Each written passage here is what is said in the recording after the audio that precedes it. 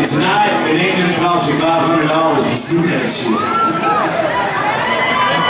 I'm blaming it on my roots. I showed up in boots and ruined your black tie crew.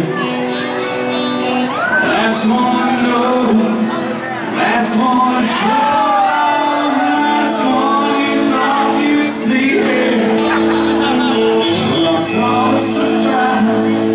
Three.